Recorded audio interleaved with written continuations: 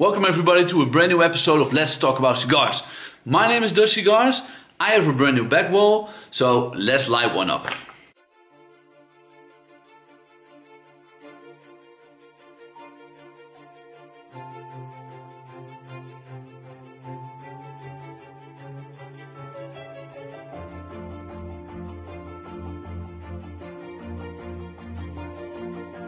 So, first up, my brand new back wall. I hope you like it. I didn't like the plain uh, brown wall that was behind me, so I made this out of a few of my cigar boxes. Uh, I got a few from friends. You see a few old ones, special ones. Um, well, this might change throughout the shows. This episode is going to be about something else, and that is Cohiba. I'm very sorry that I'm doing another Cohiba.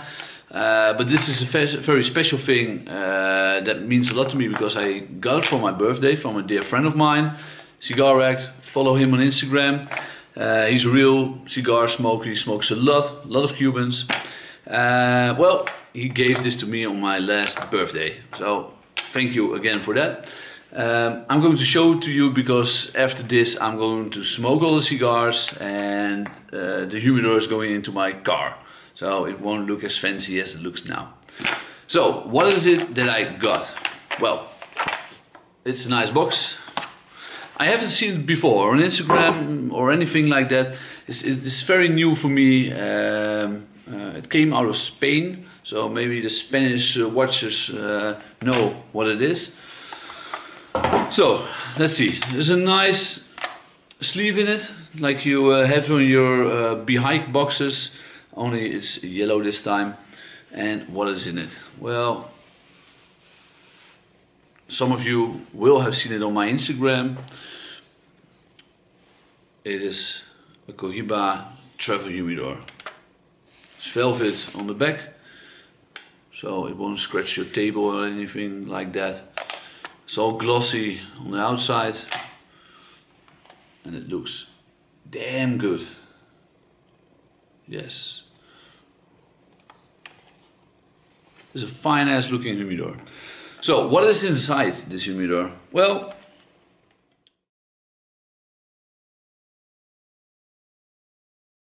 as you can see, all the numbers are there, one through six, and as you can see here on top, there is the humidifier. At this point, there is still a foam box in it because uh, that keeps the, the, tubes in line. Of course you can take that out when you are uh, done with the tubes and you want to put in your own cigars. There's plenty of enough space. A funny thing is, apparently this box is a few years old.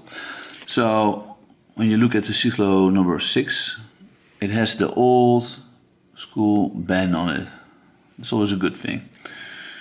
But then you pick out the Siglo number two, and there's the new band. so apparently somebody was a bit creative uh, at Cohiba. Or in the store where it came from, but uh, I doubt that. So, this is going back in the box. Now, well, there is a nice, there's a very, very uh, firm uh, magnetic closure on it. So that's a good thing. It won't go open that easily. So this goes a bit harder. Very nice, so glossy. And this will go into my uh, dashboard. It will be a perfect travel humidor or to store some cigars in, uh, in the car. You never know when you're gonna need them, right? So, that was a quick review about the Cohiba Siglo Humidor. Uh, again, sorry for doing another Cohiba. Uh, I promise you next time it won't be about Cohibas and there will be some cigars burning. I promise you that. So, thanks for watching. Uh, make sure to subscribe and hit that uh, like button. See you next time.